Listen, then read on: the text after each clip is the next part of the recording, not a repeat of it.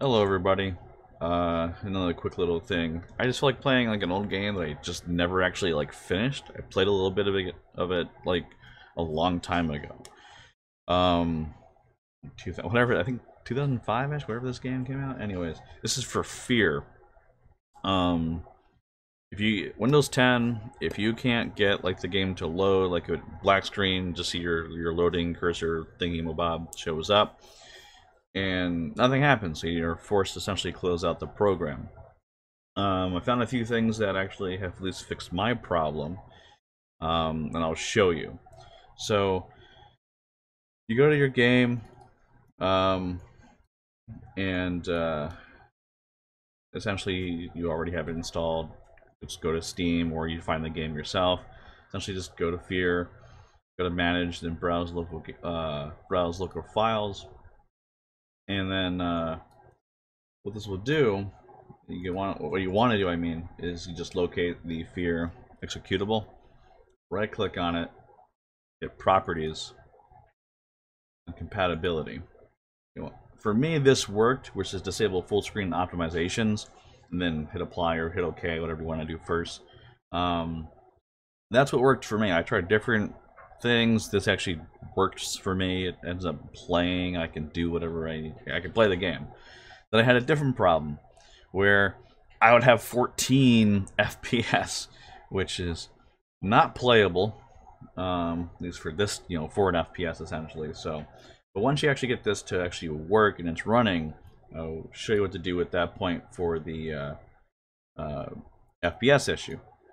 What I found out is that this guy on the Steam forums here for the game itself, general discussions, this guy right here, um, he's made this little post thingy mobob that you know details a few things. All you gotta do though is just download the zip file, um, and all this does, it, this brings up for Steam, obviously.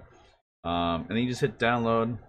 Once you down get the, the thing downloaded, um, all you have to do is you know extract the file, um, maybe the, the the specific file itself or the folder. I just did the folder, just how I've always done it.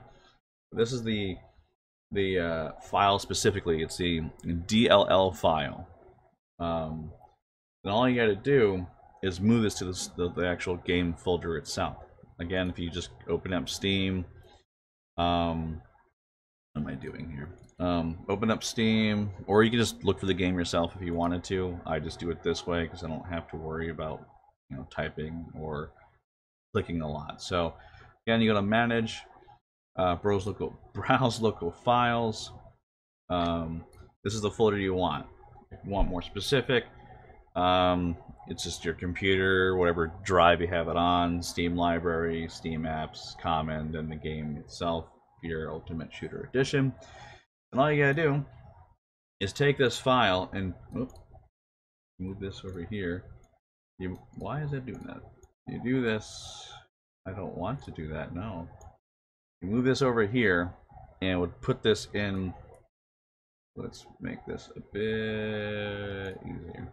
Um, you just gotta take this file and just put it here in the folder. That's it. That's how I, I've already had it, have it in there. I'm not gonna put it in there twice. Ethan's gonna prompt me saying, hey, it's already there. Do you want to do this? So um, that fixed my issue with the frames. Um, I went from 15 to 800 and something or whatever it was. So um, hopefully that resolves your problem as well. Um, I know it fixed my problem. Is you know both things where again with the frame issue for this simple little fix the guy made, and uh, and the uh, you know the game not opening up. So hopefully that helps you as well. Um, I'll put things down below to show you where things are at. So hopefully you guys uh, enjoy that and it works for you. You guys have fun. Bye.